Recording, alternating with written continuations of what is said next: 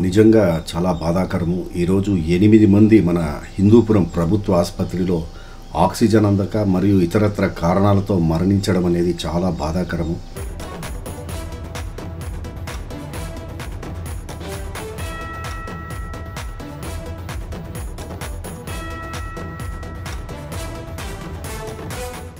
దీని కారణాలు కనుక్కుంటే రకరకాలుగా మనకు వినిపిస్తున్నాయి.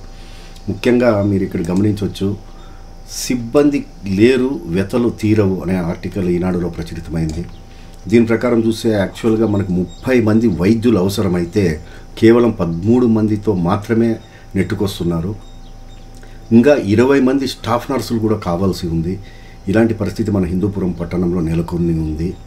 దీనివలన ఎంతమంది కరోనా రోగులు మన హిందూపూర్ హాస్పిటల్ నమ్ముకుంటూ అక్కడ అడ్మిట్ అవుతున్నారో వాళ్ళందరూ కూడా భయాందోళనతో ఉన్నారు. అనంతపురం జిల్లా హిందూపురం ప్రభుత్వాసుపత్రిలో కరోనా మరణ మృతంగం మోగిస్తోంది.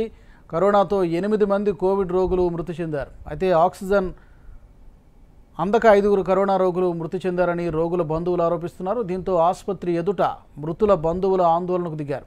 ఆసుపత్రి అద్దాల్ని ధ్వంసం చేశారు. రెండు రోజుల క్రితం అనంతపురం సర్వజన ఆసుపత్రిలో పద్నాలుగు మంది మృతి చెందిన ఘటన మరొక ముందే ఈ ఘటన చోటు చేసుకోవడంతో ఆందోళన వ్యక్తం చేస్తున్నారు రోగుల బంధువులు.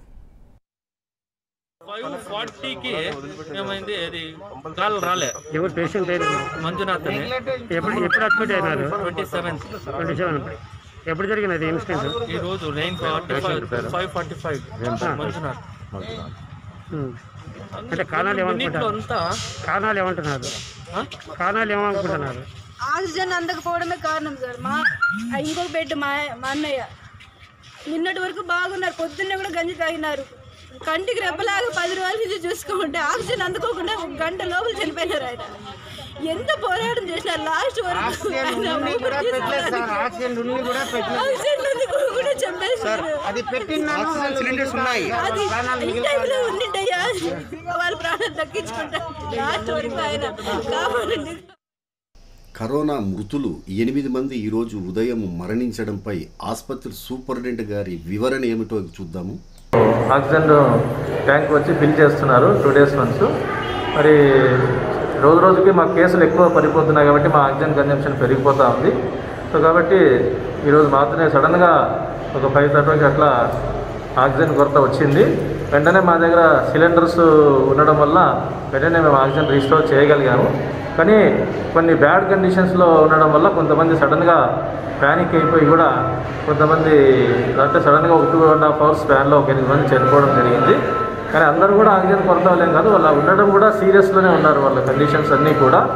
కాబట్టి జనాలు కొంచెం ప్యానిక్ అవుతుండడం వల్ల వాళ్ళకి నచ్చజెప్పడం జరిగింది. సో వెంటనే మాకు ఇప్పుడు సిలిండర్స్ కూడా ఆక్సిజన్ ట్యాంక్ కూడా వచ్చింది కాబట్టి ఫిలప్ చేసి వెంటనే రీస్టోర్ కూడా చేయడం జరిగింది. అదేవిధంగా మనకు ఆక్సిజన్ సిలిండర్ల కొరతను అధికారులు ఎప్పటికప్పుడు పర్యవేక్షిస్తున్నారు. ట్యాంక్ వస్తుంది అక్కడ అన్లోడ్ చేస్తుంది. ఇక ఇంకా ఒక బాధాకరమైన విషయం ఏమంటే ఇరవై నాలుగవ తేదీ రక్షా అకాడమీ వారు చిలుమత్తూరు మండలంలో ముప్పై మంది సెక్యూరిటీ సిబ్బందిని చిన్నంపల్లి గ్రామంలో ఈ కరోనా పరీక్షలు చేసింటే ఇప్పటి వరకు కూడా ఫలితాలు అందలేదంట. అది ఇంకా బాధాకరం. కరోనా మహమ్మారిన హిందూపూర్ పట్టణంలో పడుతున్నారు. దాదాపుగా ఎన్ని జాగ్రత్తలు తీసుకున్నా కూడా వైరస్ వ్యాప్తి మాత్రము ఉధృతంగా ఉంది. ఆ యొక్క ఉధృతంగా ఉండడంతో చాలామంది ఏం లక్షణాలు లేవులే బయట తిరుగుదామని తిరుగుతున్నారు మాస్కులు ధరించడం లేదు. కొద్దిమందికి అవేర్నెస్ వచ్చింది. పల్లె వాళ్ళు పట్టణానికి రావడానికి కూడా భయపడుతున్నారు. రాబోయే రోజుల్లో మరింత మనకు ఇబ్బంది పరిస్థితులు తలెత్తవచ్చు తలెత్తొచ్చు. కాబట్టి అధికారులు తమ వంతుగా ఏదైనా ఒక డెసిషన్ తీసుకొని ఈ యొక్క కరోనా మహమ్మారిని కట్టడి చేయాలని కోరుతున్నాము.